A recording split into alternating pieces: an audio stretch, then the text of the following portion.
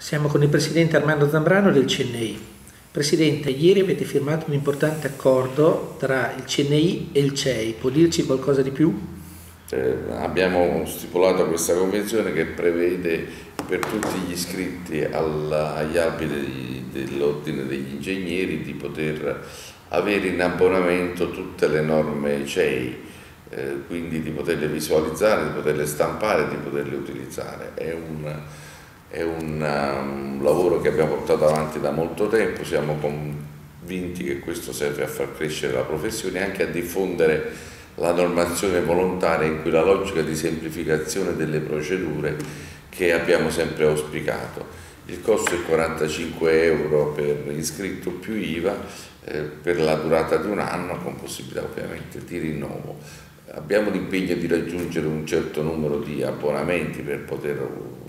approfittare di, questa, di queste condizioni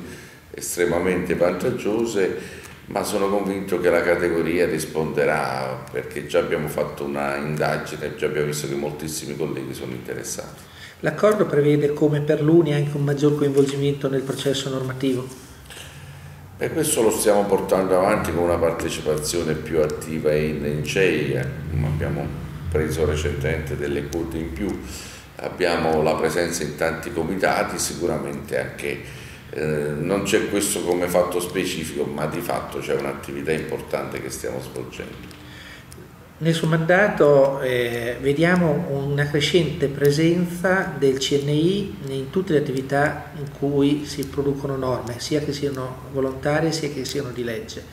Questo va anche nella direzione di eh, far crescere il ruolo degli ingegneri nella, nelle decisioni, nella politica italiana. Mettiamolo al contrario, c'è bisogno di ingegneri per fare norme tecnicamente utilizzabili e quindi l'impegno che stiamo facendo, che stiamo portando avanti è quello proprio di essere presenti dove si scrivono le norme per, eh, e anche a seguirle nelle fasi successive perché abbiamo bisogno di questo paese di norme applicabili. E gli ingegneri nel campo loro, ovviamente nel campo tecnico, scientifico, ma per la verità ci stiamo impegnando anche su campi non strettamente di nostra competenza, da quello fiscale, da quello economico, possono dare un contributo veramente significativo, che tra l'altro è molto apprezzato, nel senso che i documenti che stiamo producendo, molti come Consiglio nazionale, e, e, molti con la rete delle professioni tecniche, molti col supporto del centro studi, eh, stanno avendo dei buoni risultati. Abbiamo modificato alcune norme importanti, per esempio l'interlocuzione con l'ANAC che ci ha portato ad avere quella determina la 4 2015 recentissima che ha sostanzialmente accolto le nostre istanze di semplificazione delle procedure di gara di affidamento dei servizi di ingegneria e architettura, soprattutto ponendo a, più, a livello più basso possibile i requisiti per consentire la massima concorrenza.